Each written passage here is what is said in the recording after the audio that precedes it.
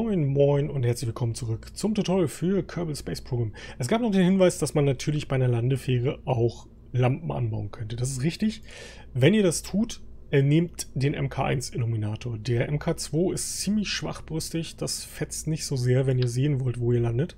Und ich persönlich würde dann vier Lampen anbauen und zwar auf der unteren Stufe, damit ihr euch nicht das Gewicht dieser Stufe erhöht. Dann guckt, dass ihr das hier auf der unteren Stufe macht könnt ihr ruhig ein bisschen nach oben ziehen. So hat man dann auch die Möglichkeit, auf der Nachtseite von Minmus zu landen, ohne sich da großen Ärger zu machen. So, wir gucken nochmal, dass die Kerbals alle richtig sitzen. Valentina, Bill und Bob, alle sind mit dabei. Bill äh, macht heute seinen ersten Raumflug. Der wird ein bisschen gucken wahrscheinlich. Und ich würde sagen, wir schießen das ganze Ding jetzt mal in Richtung Minmus und gucken, wie gut unsere Konstruktion funktioniert oder eben auch nicht. Eine Sache noch aus Stabilitätsgründen, die man machen kann, und ich ziehe die jetzt tatsächlich mal durch, damit wir am Anfang das Problem nicht haben. Wenn ihr so seitliche Tanks habt, kann man mit so Struts auch nochmal diese seitlichen Tanks stützen. Das solltet ihr mal versuchen, so weit wie möglich nach oben zu ziehen, damit die Rakete so lang wie möglich stabilisiert wird, ähm, weil sehr lange Raketen auch immer noch, ist bei weitem nicht mehr so schlimm, wie es früher war, aber immer noch ein bisschen zum Wobbeln tendieren. So, ab geht's. Wir starten in Richtung Minmus. Bei so einer großen Rakete fliegt vorsichtig, dreht die nicht zu so aggressiv. Ähm, die haben das Problem, dass die dann ganz gerne auch mal ein bisschen rumflippen, wenn ihr es übertreibt mit dem Steuern. Ähm, deshalb SAS erstmal rein. Und das erste, was passiert, ist auf jeden Fall, also hier nochmal gezeigt, die Abbruchsgruppe ist hier. Da könnt ihr die äh, loswerden. Und ähm, wenn ich das jetzt drücken würde, würde die Kapsel quasi abgesprengt werden und wir weggezogen. Das machen wir natürlich nur, wenn es zu einem fatalen Fehlschlag kommt. Deshalb nicht jetzt. Und wir starten jetzt in Richtung Minmus. Auf geht's. Sieht doch bisher ganz gut aus.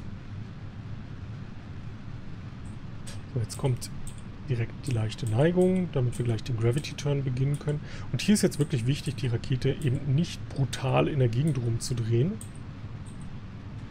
sondern gemächlich, wirklich gemächlich zu arbeiten. So. Und dann kann Valentina diese Drehung übernehmen, weil sie hält das jetzt quasi immer im, im Prograde-Marker drin. So können wir relativ gut die Rakete drehen, ohne dass sie irgendwie Angriffsfläche in Richtung des Winds bietet.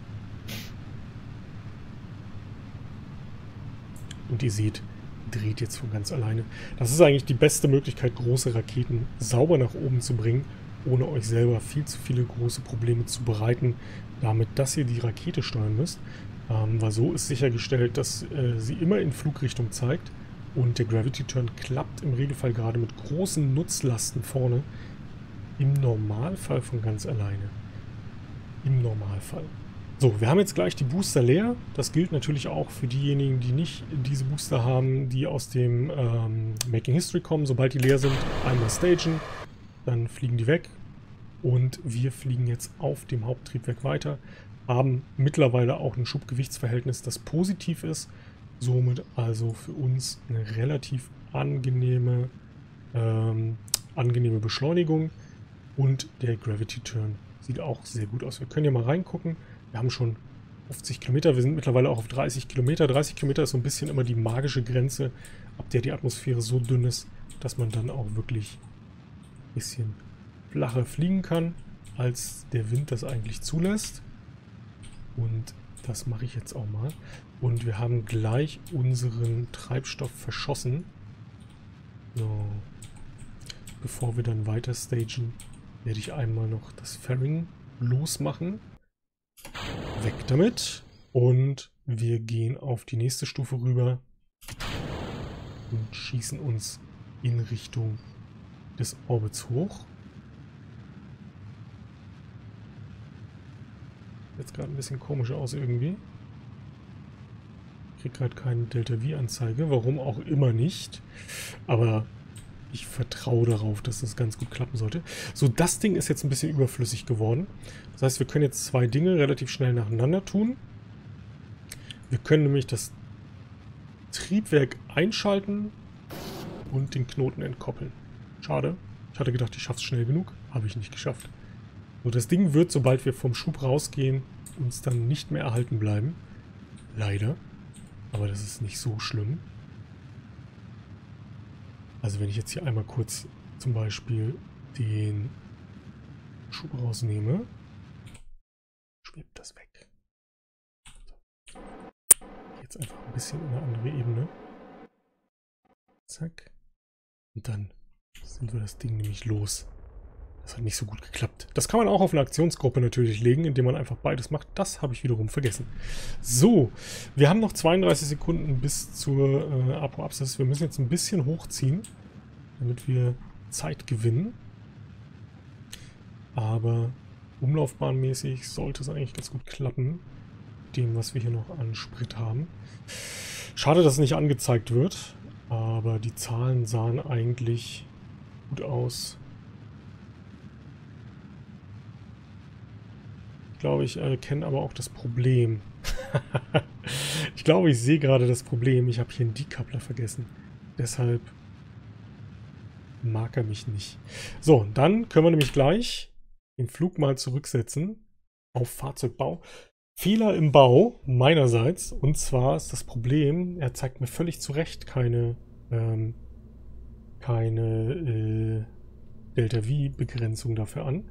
Das ist nämlich ein fehlender Decoupler, der dort Probleme macht. Der gehört ja nämlich noch dazwischen. Dann klappt es nämlich auch mit dem Nachbarn. So, zack, den machen wir dann erstmal. Und so sieht das nämlich schon mal anders aus.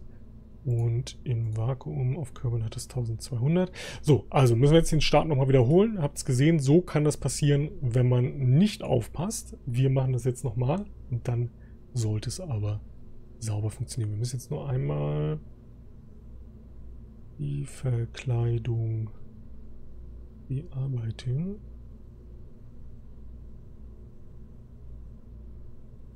Zack, und dann ist die auch wieder sauber. So, neues Spiel, neues Glück. Wir gucken nochmal, ob die Kerbals alle in der Reihenfolge drin sind, wie sie sein sollten. Ist der Fall. Und neuer Anlauf. Los geht's. Ansonsten aber den gleichen Start nochmal. Ist natürlich doof, wenn man so einen Decoupler vergisst, aber es ist kein Beinbruch, ähm, weil man ja in dem Falle einfach nochmal abbrechen könnte. Ach, und wenn wir schon mal dabei sind, ich zeige euch das jetzt nochmal. Eben noch drüber gesprochen und direkt nochmal vergessen. Also wir machen uns auf der Zahl 2, die jetzt nicht mehr zur Verfügung steht, das ist relativ spannend, dann machen wir es doch auf der Bremse, auf B, machen wir folgendes. Wir machen nämlich hier einmal Knoten entkoppeln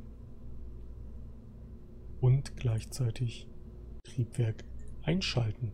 So, das ist dann auf der B-Taste drauf und jetzt können wir schlussendlich hoffentlich los und in den Orbit fliegen und haben dann jetzt auch eine schöne Taste, mit der wir die den Rettungsturm loswerden und nicht mehr mit uns weiter rumschleppen müssen. Der ist nämlich eigentlich ab einem gewissen Punkt nur noch totes Gewicht.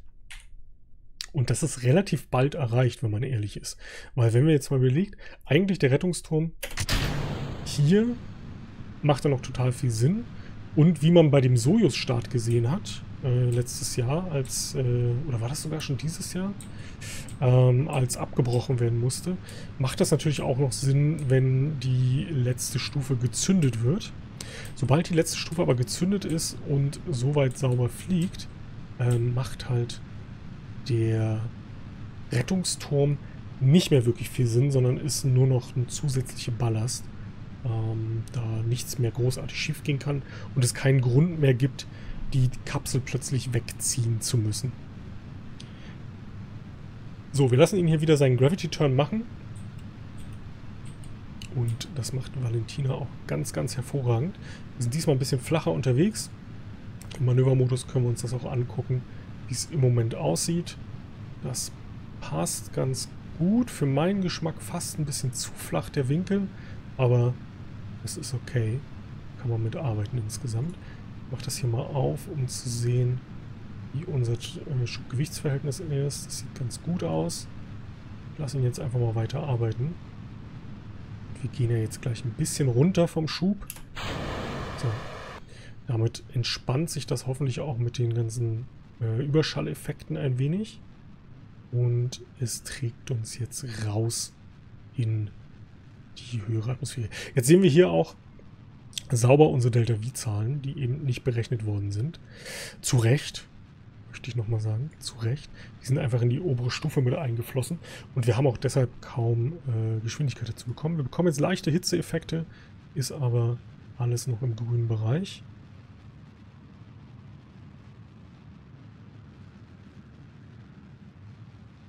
Geschwindigkeit sieht sehr gut aus.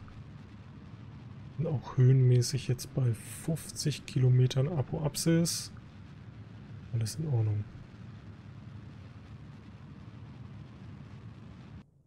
Okay, ich werde das jetzt mal tauschen. Ich lasse das nämlich noch zu. Oder wegen der Hitze, die im Moment noch drauf liegt. So, und jetzt probieren wir mal. Hat gezündet. Jetzt können wir unseren Tower wegschießen. Weg ist er. Hab einfach mal kurz B gedrückt. Schwupps, verschwindet er. So, und jetzt warten wir noch einen kurzen Moment. Wir sind nämlich noch relativ tief, deshalb wollte ich die Verkleidung noch nicht aufmachen, damit wir aerodynamisch noch nicht in die ganzen Schwurbeleien reinkommen, die da so auf uns warten. Ähm, ich persönlich warte immer so bis über 50 Kilometer, weil dann sind wir aus dem Atmosphärenbereich raus, wo noch was Blaues angezeigt wird. Ich glaube, im Normalfall könnt ihr, wenn ihr keine empfindlichen Antennen habt oder so, auch schon bei 40 Kilometer plus aufmachen. Ich mache jetzt mal auf. Das sollte alles relativ stressfrei sein mittlerweile. Und wie ihr seht, außer ein Haufen Konfetti, was wegschießt, nichts kaputt gegangen. Und wir lassen uns hier weiter in Richtung Orbit tragen. Eine Minute und sechs zum, äh, zur Apoapsis. Sieht auch gut aus. Baut langsam ab, ist aber auch völlig okay. Und wir fliegen fast aus der äh, Atmosphäre raus. Jetzt sind wir raus. Also in der Prognose. Wir sind natürlich noch drin und fliegen einen schönen flachen Kurs, relativ effizient, also gar nicht so schlecht. Und was wir schon mal machen können, wir können den Minmus als Ziel setzen und uns anschauen, wie schlimm es denn heute mit der Abweichung wird. Und die ist tatsächlich mit 4,7 Grad heute relativ okay. Wir könnten jetzt noch ein bisschen daran arbeiten, das schon mal geringer zu machen, indem wir Richtung Norden steuern. Wir haben nämlich genug Sprit dabei, um das zu tun. Allerdings nicht zu viel, weil wir ansonsten den Sprit zu sehr vergeuden. Das müsste jetzt eigentlich, genau, das senkt hier gerade den Knoten und macht das Manöver ein bisschen weniger aufwendig. Also ich bringe einfach diese Kurse ein bisschen mehr übereinander. Perfekt wird es sicherlich eh nicht werden. Nicht in diesem Verlauf des Orbits mehr, aber für unsere Zwecke reicht's. Diese leichte Drehung. So, wir sind mittlerweile im Weltall angekommen. Und jetzt müssen wir eigentlich nur noch warten.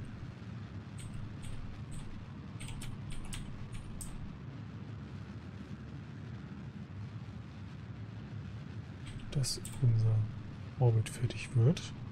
Nehmen wir ein bisschen Schub raus. Wir haben nämlich noch 42 Sekunden bis zur Apoapsis und die Zeit sinkt auch nicht mehr. Das heißt, wir können sogar noch ein bisschen weiter runtergehen. Ähm, wir sind fast angekommen. Hinten hebt sich die Periapsis jetzt auch langsam raus. 2200 Meter pro Sekunde sind ja unsere angeplante, äh, angeplante, angepeilte Geschwindigkeit für unseren, für unseren Orbit. Umkörben jetzt erstmal. Das haben wir mittlerweile auf 3 Grad gesenkt. Wir können jetzt auch wieder Grade fliegen und den Rest vom Orbit schnell fertig machen.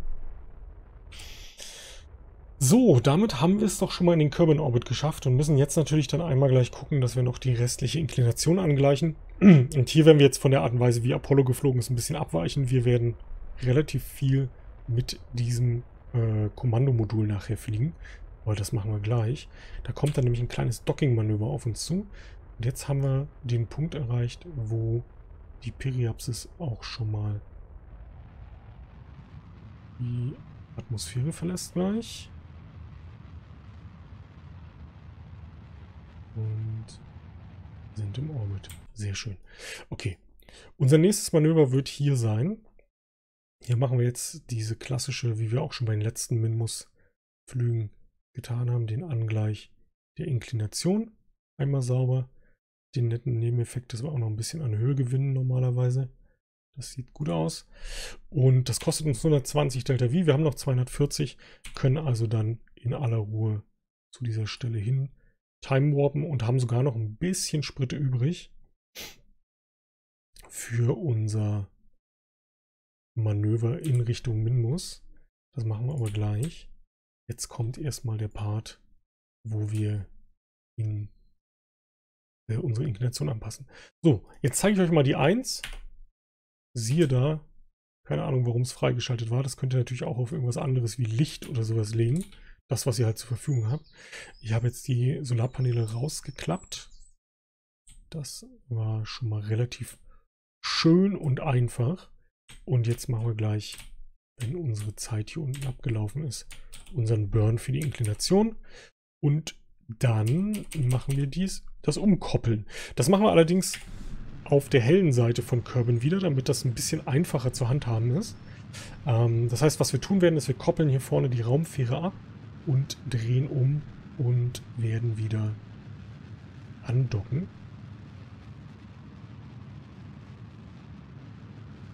Zack.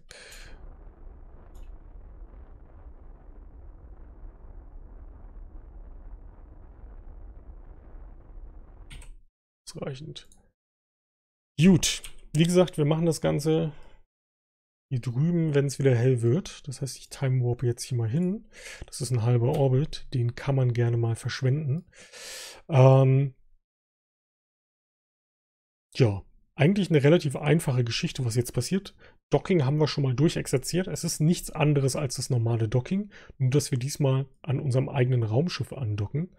Und dafür müssen wir als allererstes mal abdocken.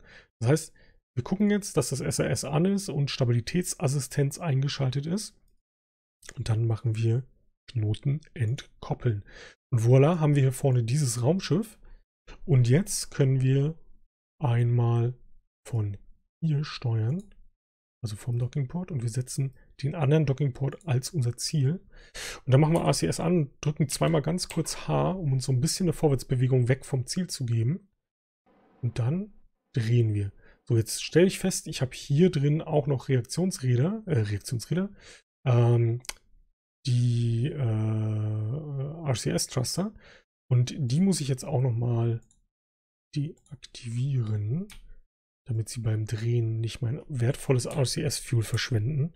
Das möchte ich nämlich nicht. So. Und jetzt richten wir uns aus auf den pinken Kreis. Also das Vorwärts war jetzt hauptsächlich dafür da, dass wir ein bisschen Abstand gewinnen. Und jetzt gebe ich wieder mit H Vorwärtsschub. Und zwar bis ich den gelben Kreis sehe. Und wenn ich den gelben Kreis sehe, kann ich ihn mit I ist hoch, äh, I ist runter, K ist hoch, L ist rechts, J ist links, I ist runter. Spiele ich jetzt den gelben Kreis exakt auf den pinken Kreis und halte meine Nase auf den pinken Kreis gerichtet. Das wackelt immer so ein bisschen, da müsst ihr ihm einfach ein bisschen Chance geben. Und kurz bevor ich andocke, nehme ich SAS raus, Sitz drauf, fertig. Das war's schon. Jetzt haben wir potenziell die Möglichkeit, mit dem Kommandomodul zu fliegen. Jetzt müssen wir ein bisschen was aufpassen, nämlich wir gucken mit dem Kommandomodul jetzt in die falsche Richtung. Das heißt, um unser Manöver nach Minmus zu fliegen, müssen wir von hier steuern, also aus der Landebüchse, dass wir diese Perspektive nutzen. Ihr könnt auch mit Dockingports diese Perspektive nutzen. Und sobald wir dann das Manöver ändern, müssen wir einmal auf die andere Seite gehen. So, das zeige ich euch aber gleich. Jetzt machen wir erstmal die Manöverplanung. Zack. Ich glaube, das ist ein bisschen früh. Ist gar nicht schlecht geworden. Okay. Also 922 Meter pro Sekunde. Das sieht gut aus. So, das wollen wir auf keinen Fall. Aber wir wollen ein bisschen was anderes. Wir wollen nämlich das hier. Komischerweise wollen wir das hier. Wir wollen nämlich da abkoppeln und dieses Triebwerk dann zünden, da müssen wir einmal den Motor dann kurz ausstellen und äh, dann umdrehen, dass wir von hier aus steuern. Das machen wir jetzt aber gleich als Manöver. Als allererstes müssen wir jetzt aber erstmal nah an das Manöver ran. Wir können nicht komplett an das Manöver ran warpen, weil drei Minuten ist ein bisschen länger. Aber wir können zumindest in die Nähe. Und wir nutzen jetzt diese 126 Meter pro Sekunde, die wir haben, einfach noch mit. Die machen uns das Leben nämlich dann doch ganz schön viel einfacher, ähm, weil das Treibstoff ist, den wir nicht verbrauchen auf dem Weg nach Minmus raus. Und ihr seht, wir haben jetzt noch eine Minute zur Zündung. Das heißt, jetzt können wir nochmal sicher gehen, dass wir von hier steuern. Auf jeden Fall, wenn wir uns ausrichten. Ein sicheres Zeichen ist immer eure Flugrichtung. Also das Triebwerk, was ihr zünden wollt, und das ist ja in diesem Falle hoch. Ich habe gar kein SAS an. Das ist ja in diesem Falle dieses Triebwerk im Moment noch, also das Pudel. Ähm, das wollen wir nach hinten zeigen lassen. Im Moment sieht man das ganz gut mit der Flugrichtung. Wir bewegen uns in diese Richtung. Das scheint okay zu sein. Das scheint okay zu sein. Was wir jetzt machen, wir zünden das durch, bis es alle ist. Dann machen wir den Antrieb aus mit X auf 0. Machen das hier. Dann müssen wir einmal von hier steuern, das Raumschiff umdrehen und dann zünden wir wieder. Also wir haben eine etwas komplexere Sequenz jetzt, dadurch, dass wir den Resttreibstoff noch mitnutzen. Ist aber okay und handhabbar. Wenn nicht, vorher einmal F5, dann könnt ihr schnell speichern und könnt danach das Ding nochmal wiederholen, wenn das nicht so gut funktioniert hat, wie ihr euch das vorgestellt habt. So, in 21 Sekunden ist es soweit. Das Zeitraffer ich jetzt noch kurz ran, damit wir da nicht drauf warten müssen. Und los geht's. So, Antrieb läuft. Das dauert nicht allzu lange, denn dieser Antrieb hat nicht mehr so viel Sprit drin. Schiebt uns auch ganz gut raus. Ihr seht ja auch den Part, wo dann gestaged werden muss. Und der wichtige Part ist jetzt, wenn gleich der Antrieb leer ist, bevor ihr das Staging drückt, einmal X drücken, dann geht der Schub auf 0 runter. Einmal stagen. Das hat nicht so gut funktioniert, deshalb leer Stage. Ich mache nochmal. So, jetzt sind wir auf der Stage wie es sein soll. Also ihr seht das auch an der Trennung. Jetzt machen wir von hier steuern, also jetzt aus der Raumkapsel und gehen wieder rüber in Richtung unseres blauen Manövers. Und jetzt geht es ab in Richtung Minmus. Nämlich sobald wir ausgerichtet sind, können wir mit Y bzw. Z, je nachdem wo ihr es liegen habt, den Vollschub wieder einschalten und fliegen weiter in Richtung Minmus. So einfach kann es sein. Und da seht ihr auch schon Zündung in minus 51 Sekunden. Also wir sind drüber, dadurch jetzt ein bisschen. Ist aber nicht ganz so wild. Ähm, die Korrekturen können wir unterwegs dann machen. Wir haben jetzt 2200 Delta V zur Verfügung. Wir brauchen 922 nach Minmus raus. Wir brauchen nochmal so um die, ah, sag mal 300, also 200 fürs Einbremsen in Orbit und gegebenenfalls Korrekturen. Und dann immer so 100 80 bis 200 pro Landung. Ist also relativ entspannt. Und äh, ihr werdet feststellen, wenn wir nachher den Länder abkoppeln, dann werden wir da auch nochmal ganz gute Delta-V-Werte bekommen. So, das Ganze dauert jetzt einen kurzen Moment. Natürlich sollte man dem Manöver dann auch nebenbei folgen, wenn das passiert. Die Schubzeit ist insgesamt zwei Minuten. Das ist mit den effizienteren Triebwerken eine Sache, an die ihr euch gewöhnen solltet.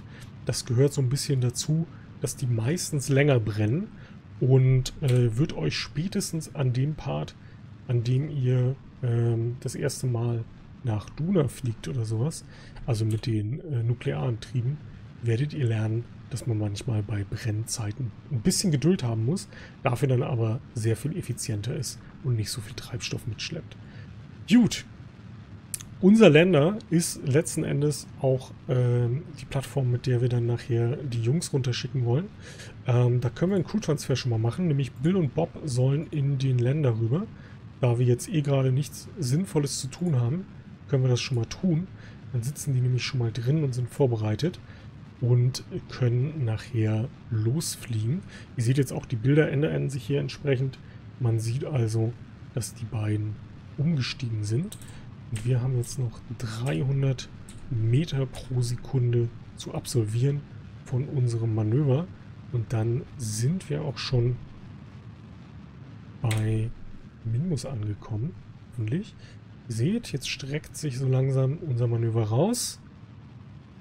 Mal ganz witzig, ein Großteil des Manövers ist erstmal diese niedrige Beschleunigung. Man denkt dann immer so, oh, da komme ich ja nirgendwo hin. Und dann mit den letzten Delta V beginnt das Ding plötzlich immer schneller nach außen zu gehen und zu beschleunigen, weil da der Kraftaufwand dann nicht mehr so groß ist, weil wir natürlich hier gerade die Gravitation von Kerbin überwinden und je weiter wir uns schon rausgeschossen haben, umso weniger Gravitation von Kerbin gilt es noch zu überwinden und deshalb braucht ihr dafür viel weniger Treibstoff, wenn ihr im letzten Segment seid, weil wir jetzt ja im Verhältnis zu dem, was wir noch brennen, sehr viel mehr Strecke mit unserem Manöver machen. Also so sieht man es mal, wie viel mehr Strecke das eigentlich im Verhältnis ist. Aber glaubt mir, das wird funktionieren. So. Lassen das schön weiterlaufen. Und aus. Noch ein bisschen nachbrennen. So, das sieht gut aus. Wir sind nah genug dran. Jetzt machen wir uns, wie auch bei den letzten Flügen, eine Mid-Course-Correction fertig. Also irgendwo auf der Mitte. Wir müssen auf den blauen. In zwei Tagen ist das dann der Fall. Und wir machen Ansicht zentrieren auf den Minmus. Wir haben schon einen relativ guten Anflug, aber das geht natürlich noch ein bisschen schöner. Wir wollen unser Orbiter-Modul in einem 15 Kilometer Orbit diesmal platzieren. Das heißt, wir bringen ihn sauber ran. Auch mit Rechtsklick wieder auf die Zeichen kann ich mir das anzeigen lassen. Das war ein bisschen viel. So, und auch hier gilt wieder hier drüber oder eben, ich bin ein Gewohnheitstier, deshalb mache ich das bei mir immer. Ihr könnt natürlich auch hier hingehen und mit dem Mausrad arbeiten, aber ihr seht, selbst leichte Klicks verschieben das schon enorm. Äh, ich glaube, ich bleibe erstmal bei 13, 14, 15, okay. Sehr schön. Also ich habe jetzt immer so einzelne Klicks vom Mausrad. Das sind 2,2 Meter pro Sekunde. Die sind schnell gemacht. Dahin können wir jetzt erstmal Zeit raffern. Upp, zum nächsten Manöver. Und fliegen jetzt mit unserem kleinen Raumschiff Gespann in Richtung des Manövers. Da draußen ist auch schon ganz, ganz klein der Minmus zu erkennen. So, und jetzt müssen wir uns drehen.